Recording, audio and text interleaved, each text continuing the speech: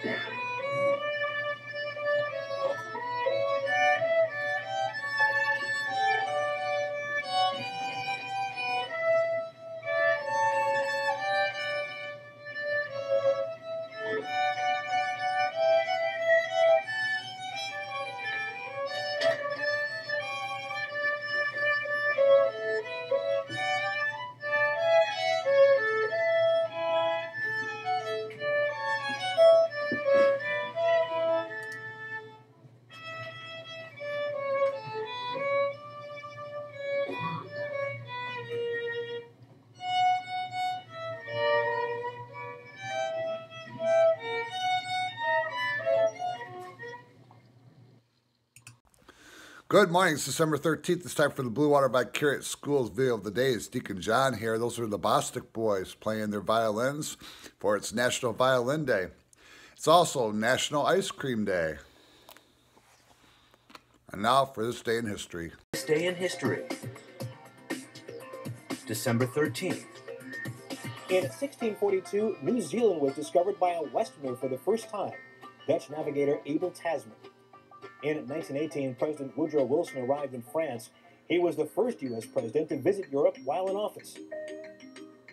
In 1978, the Susan B. Anthony dollar went into circulation, the first U.S. coin to honor a woman.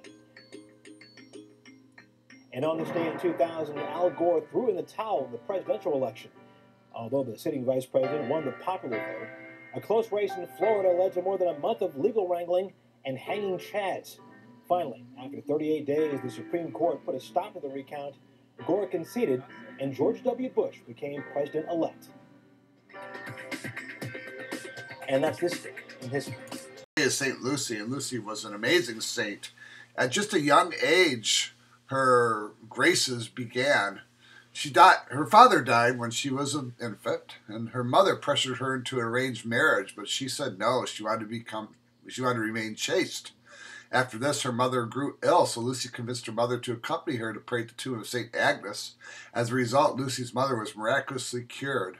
Lucy then told her mother of her vow of chastity, and she gave herself over to serving persecuted Christians who were hiding in the catacombs, wearing a wreath of candles on her head to illumine the dark underground caverns with her arms full of provisions. Upon finding that Lucy was a Christian and had refused his hand in marriage, the man to whom she was betrothed had her imprisoned under the persecutions of the emperor, of the Roman emperor. She was then to be put to death, and they tried to set her on fire, but the wood underneath Lucy would not burn. Finally, she was killed by a sword.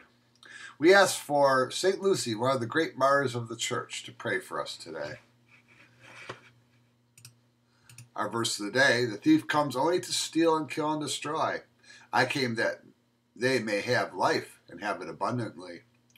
So Jesus is only looking out for, and God is only looking out for the good things in our life. And what's the joke today? Well, it is. Why was Santa's elf sad? Because he had low self esteem. And now on to some videotape of Kyle Miyake, who had the amazing day at the gym this weekend. Everybody have a great day to end today's video, I know we have many great athletes in the Blue Water Vicariate schools, but uh, this is really a good feat from this weekend as we watch Kyle Miyake from Holy Cross perform some gymnastics on the rings.